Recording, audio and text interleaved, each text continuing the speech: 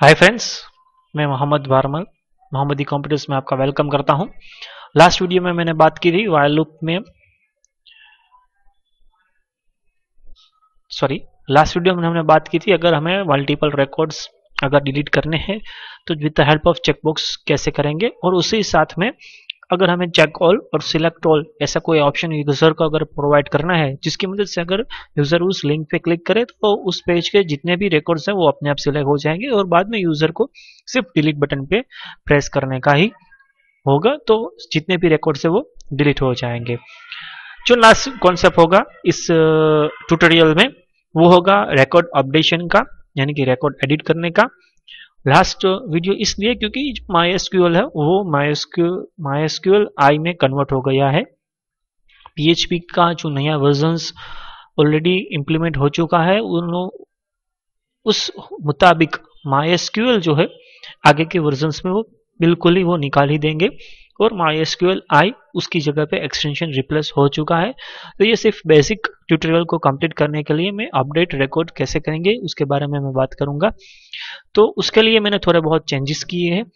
Changes में क्या किए हैं कि जो कुछ भी मैंने आज तक के जो माई एसक्यूएल में ट्यूटोरियल मैंने ऑलरेडी अपलोड किए हुए हैं, उसमें मैंने ड्रॉप डाउन एक्सप्लेन नहीं किया है।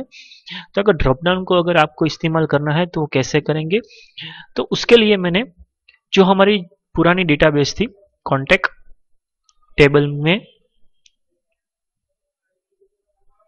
रिकॉर्ड्स अगर हम देखें सॉरी एक भी रिकॉर्ड्स नहीं क्योंकि लास्ट वीडियो में मैंने सभी रिकॉर्ड्स को निकाल दिया था। लेकिन एक कंट्री नाम का मैंने फ़ील्ड उसमें बताया, बनाया है टेबल बनाया है, और उसमें जितने भी कंट्रीज़ अवेलेबल है, वो सभी कंट्रीज़ मैंने ऑलरेडी एडिट कर दिए हैं। अब कॉन्टेक्ट में जो कुछ भी हमारा स्ट्रक्चर है, यहाँ पे लास्ट में जो लैंग्वेजेस है जो लैंग्वेजेस अगर हमें अगर एडिट करनी है तो कैसे करेंगे? With help of drop down उसके लिए हम यूज़ करेंगे। तो जो बेसिक स्ट्रक्चर है एडिट का, कैसे रिकॉर्ड को एडिट करते हैं तो उसमें थ्री स्टेजेस आते हैं। फ़र्स्ट स्टेजेस में यूज़र के पास कोई एक वैल्यू गेट करवाए, या कहीं पे क्लिक करवाए, जिसकी मदद मतलब से हमें आखिर कौन सा रिकॉर्ड एडिट करवाना है, ये वो हमें मालूम हो जाए। वो तीन तरह से होता है।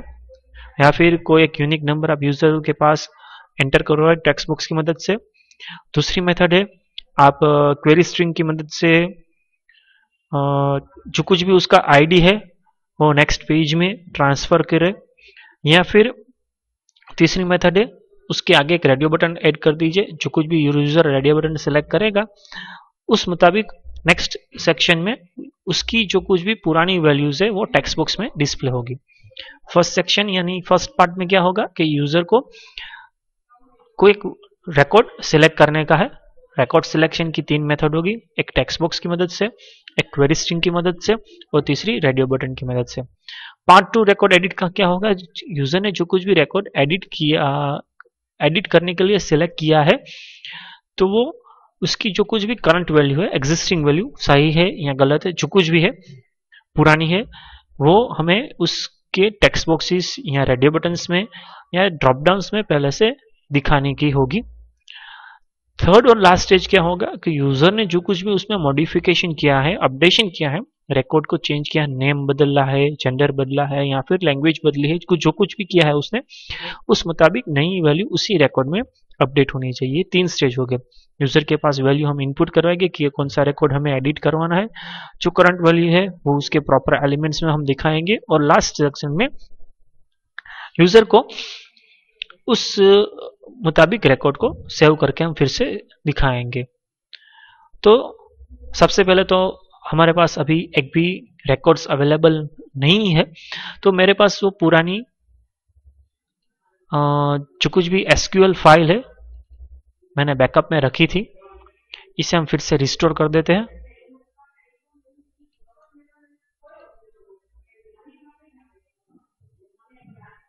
हमारे पास जो कुछ भी उसमें रिकॉर्ड्स है वो यहाँ पे एसक्यूएल में।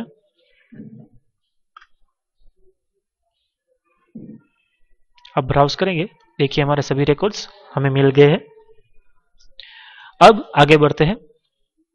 हमारे प्रोग्राम में। मैंने जो टेबल डिस्प्ले का जो प्रोग्राम है, वो यहाँ पे ऑलरेडी ओपन करके रखा है।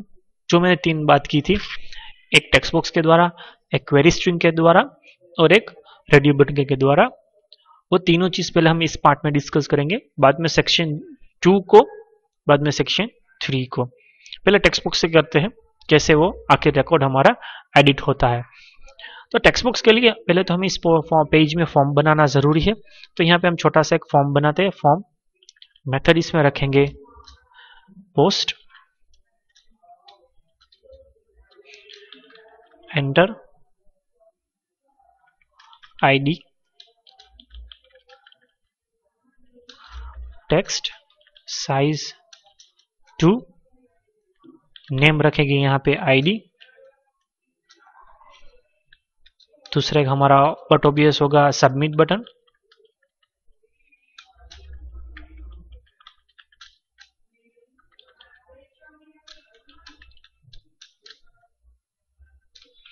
और उसका नाम रखेंगे हम सबमिट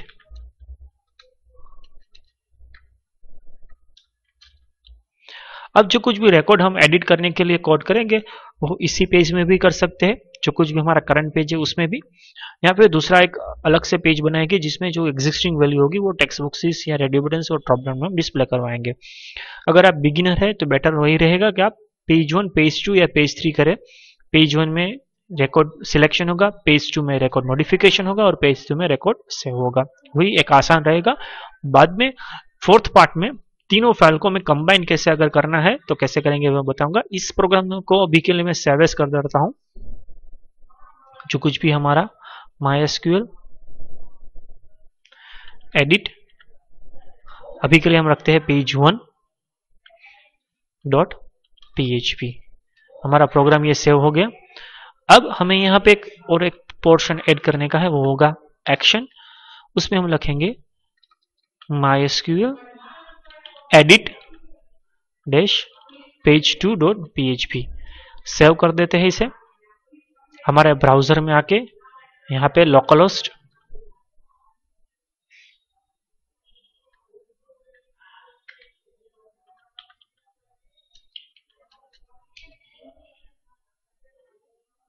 एडिट पेज वन तो आप देख सकते हैं यहाँ पे हमारे एक टेक्स्ट बुक्स अवेलेबल हो गया है। यहाँ पे रेडी एडिट बटन अवेलेबल हो गया है। अब हमें क्या करना है कि जो कुछ भी रिकॉर्ड हमें एडिट करना है फॉर एग्जांपल हमें रिकॉर्ड नंबर एट एडिट करना है तो हमें यहाँ पे सिर्फ़ लिखना होगा रिकॉर्ड नंबर उस जो कुछ भी रिकॉर्ड है उसका आईडी एट और यहाँ पे जब हम एडिट पे क्लिक करेंगे तो यहाँ पे यू अगर आप ध्यान से देखें तो अभी के लिए हमारे पास है पेज वन अब मैं क्लिक करता हूँ तो यहाँ पे हो गया वो पेज टू तो वो क्या होगा? रीडायरेक्ट हो गया, क्योंकि हमने यहाँ पे कोड में एक्शन में लिखा है MySQL dash edit dash page two ये मेथड वन थी। तो हमें मालूम हो जाएगा कि हमें कौन सा रिकॉर्ड एडिट करना है। कैसे वो मालूम करता है, वो भी मैं बता देता हूँ। इस फ़ाइल को हम नेम को कॉपी कर देते हैं। दूसरी एक ब्लैंक फ़ाइल हम क्रिएट करेंगे पीएचपी की। इसे हम सेव करेंगे with MySQL edit page two यहाँ पे सेव कर देते हैं। यहाँ पे पीएचपी को स्टार्ट करके इको करवाएँगे डॉलर अंडर स्कोर पोस्ट अब जो हमारा आईडी है, वो कौन से नेम पे हमने सेंड किया है? वो यहाँ पे आप देख सकते हैं। आईडी के नेम से हमने सेंड किया है। तो यहाँ पे हम, यहाँ आईडी को डिस्प्ले करवाएँगे। सिर्फ़ यहाँ पे रिफ्रेश कीजिए। देखिए, हमें यहाँ पे एट हो, मिल गया है। तो हमें इस, जो कुछ भी टेक्स्ट बॉक्स में ड्रॉप डाउन में रेडियो बटन में पुरानी वैल्यूज़ दिखानी है तो आखिर किसके रिकॉर्ड की दिखानी है, वो हमें यहाँ पे रिकॉर्ड नंबर एट मिल गया है। कैसे दिखाएँगे? वो आगे का आगे की बात है। इस पेज में अभी के लिए इतना ही कोड करते हैं, जो दूसरी मेथड थी। अगर हमें क्वेरी स्ट्रिंग को फॉलो करना है तो कैसे करेंगे? उसके बारे में हम बात करेंगे। तो अब इस फॉर्म की ज़रूरत नहीं है पेज में तो हम उसे निकाल देते हैं। यहाँ पे सेव कर देते हैं। क्वेरी स्ट्रिंग के लिए, यहाँ पे एक और फ़ील्ड हम ऐड करेंगे T D edit T D complete और यहाँ पे नीचे कोड में एक और हम फ़ील्ड ऐड करेंगे T D A H R F हमें कहाँ पे रीडायरेक्ट होना है? तो हमें रीडायरेक्ट होना है my dash edit dash page page two dot P H P हमें रिडायरेक्ट होने का है। यहाँ पे हम लिख डालते हैं एडिट और यहाँ पे एंकरटेक कंप्लीट करके पेज वन में फिर से जाएँगे। यहाँ पे रिफ्रेश करते हैं।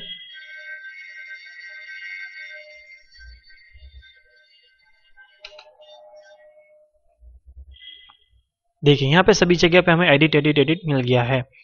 अब दिक्कत क्या है कि जब भी हम एडिट पे क्लिक करेंगे तो पेज टू तो हमारा बट ओपीएस से एग्जीक्यूट होगा ही।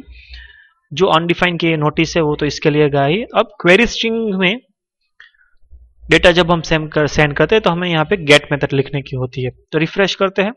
तो यहाँ पे गेट मेथड में हमें कोई डेटा अभी तक सेंड नहीं किया है। सिर्फ़ हमने यहाँ पे पेज को रिडायरेक्ट किया है। तो जैसे कि आप जानते हैं कि मैंने डिलीट में बताया था, अगर क्वेरी स्ट्रिंग को इस्तेमाल करना है तो क्या करेंगे? यहाँ पे पहले हम आईडी वेरिएबल क्वेरी स्ट्रिंग का एज्यूम करेंगे इक्वल टू की साइन करेंगे और जो हमें डेटा वहाँ पे रिडायरेक्ट करना है, उसकी जो कुछ भी वैल्यू होगी यहाँ पे हम लिखेंगे डॉलर रो स्क्वायर ब्रेसिस में डबल कॉर्चरेशन में मार्क में यहाँ पे आईडी ये हमारा कोड कंप्लीट हो गया है? सिंगल टू सिंगल कोड यहाँ पे नहीं, आखिर में आएगा। सेव करके फिर से पेज वन में जाएँगे रिफ्रेश करते हैं। अब एडिट पे मैं फिर से क्लिक करता हूँ यूआरएल आपको नोटिस करने की है। देखिए, यहाँ पे हमें मिल गया आईडी वन फिर से बैक जाते हैं। यहाँ पे हमें मिल गया आईडी ट्वेल्व और यहाँ भी हमने फिर से वो डिस्प्ले करवाया है, यहाँ पे पेज टू में। देखिए, मिल गया। तो हमें ये क्वेरी स्ट्रिंग से भी मालूम पड़ गया कि हमें कौन सा रिकॉर्ड एडिट करना है। फ़र्स्ट मेथड थी वो टेक्स्ट बॉक्स हमने पोस्ट मेथड से की थी। दूसरी मेथड हमने गेट मेथड से की है। अगर जो मैंने पहले फॉर्म बनाया है तो अगर आप पोस्ट मेथड की जगह वहाँ पे अगर गेट मेथड लिखना चाहते हैं तो लिख सकते हैं। लेकिन क्या होगा तो यहाँ भी आपको गेट मेथड ही लिखने की होगी। यहाँ पे आप पोस्ट मेथड नहीं लिख सकते। अब जो आखिरी ऑप्शन था रेडियो बटन का, उसमें क्या करेंगे? फिर से हम यहाँ पे फॉर्म को स्टार्ट करते हैं। चलो, इस फॉर्म को हम गेट मेथड से करते हैं। पिछले वाले की तरह पोस्ट मेथड से नहीं करते हैं। यहाँ पे हम लिखते हैं मेथड गेट एक्शन में फिर से हम लिखेंगे MySQL dash edit dash page two dot P H P यहाँ पे इसे पेज को कंप्लीट टेक को कंप्लीट कर देते हैं। और जहाँ पे हमने ये एंकर टेक लिखा है, इस एंकर टेक को निकाल देते हैं और यहाँ पे हम लिख डालते हैं इनपुट टाइप रेडियो नेम रखते हैं आईडी वैल्यू रखेंगे क्या, जो हमें उस पेज में रेडियो बटन की वैल्यू ट्रांसफ़र करने की है, वो सिंगल कोट में। यहाँ पे हो गया आईडी ये हमारा रेडियो बटन हो गया है, इसे हम निकाल देते हैं। इस एडिट लेबल की भी हमें ज़रूरत नहीं है अब। सेव कर देते हैं। आखिर में हमने टेबल के बाद फॉर्म को स्टार्ट किया था तो इसलिए टेबल के बाद में सबसे आखिर में यहाँ पे फॉर्म हम कंप्लीट कर देते हैं। ये हमारा पूरा कोड है। ये हो गया हमारा कंप्लीट गेट मेथड एक्शन में सॉरी गेट मेथड और एक्शन में हमने दूसरा पेज लिख दिया है। यहाँ पे फिर से पेज वन में जाते हैं। रिफ्रेश करते हैं। कहीं गलती हमने कर दी है?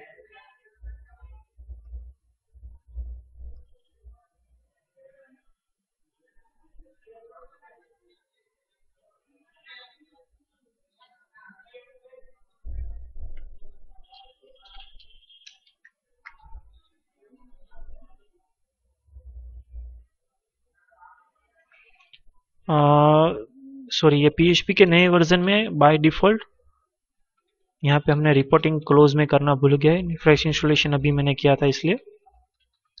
यहाँ पे हम लिखते थे error reporting E underscore all जिसकी मदद से हमें सभी एरर डिस्प्ले होगी एक्सेप्ट नोटिस अगर नो कोई नोटिस है तो हमें आउटपुट के में वो डिस्प्ले नहीं होगी। अगर कोई दूसरी एरर है तो हमें यहाँ पे डिस्प्ले होगी। देखिए, ये हो गया हमारा फिर से कोड यहाँ पे सभी जगह पे रेडियो बटन अवेलेबल हो गए हैं।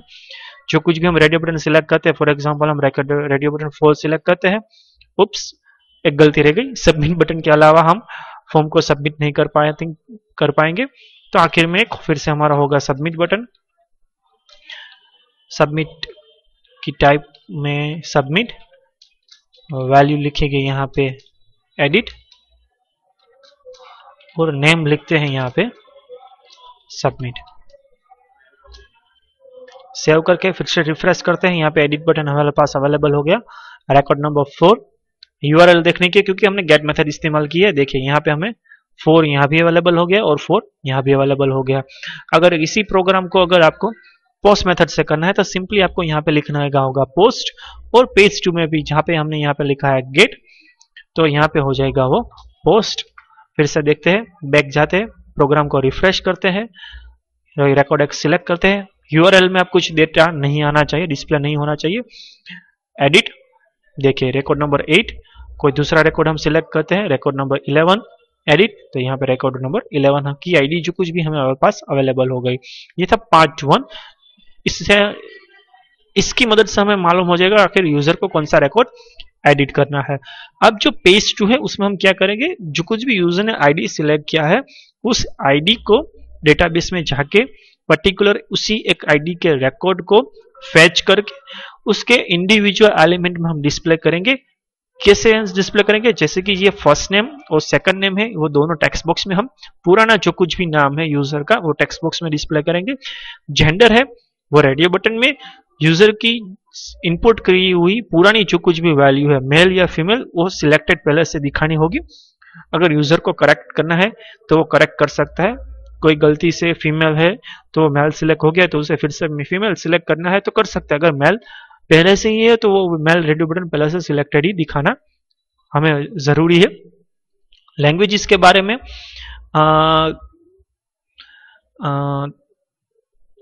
जो कुछ भी हिंदी गुजराती है सॉरी कॉन्सेप्ट में बहुत सारी कंफ्यूजिंग हो गई है। यहाँ पे सिर्फ़ मैंने कंट्री ही इस्तेमाल किया है। एक और हमें लैंग्वेजेस का टेबल ऐड करने का होगा, जो कुछ भी यूज़र को हमें लैंग्वेजेस मॉडिफाई करने अवेलेबल देनी है। तो उसके लिए मैं एक सिंपल सा नेक्स्ट पेज टू में एक एरे बना लूँगा और साथ ही साथ में उसके, अभी के लिए एक हम टेबल ऐड कर देते हैं for the country at the end of table यहाँ पे हम लिख डालते हैं कंट्री वेर केयर और यहाँ पे लिख डालते हैं हम हंड्रेड और सेव तब जब भी रिकॉर्ड हम ऐड करेंगे तो जो कुछ भी लैंग्वेजेस होगी वो भी हम चेकबॉक्स में सिलेक्शन प्रोवाइड करेंगे और जो कुछ भी radio button sorry drop down से वो कंट्री में हम प्रोवाइड करेंगे। वो पार्ट टू में हम देख लेंगे वो डिटेल में मैं आपको समझा दूँगा वो कैसे करेंगे। इस वीडियो में सिर्फ़ हम इतना ही आ, रखते हैं। यूज़र के पास टेक्स्ट बुक से क्वेरी स्ट्रिंग से और रेडियो बटन से जो कुछ भी रेडियो डेटा है, वो कैसे एक्सट्रैक्ट करवाना है या फिर यूज़र को कौन सा रिकॉर्ड एडिट करवाना है, वो हम पूछ पूछने की जो कुछ भी बात है, वो इतना ही होगा। पेज टू में, जैसे मैंने बताया यू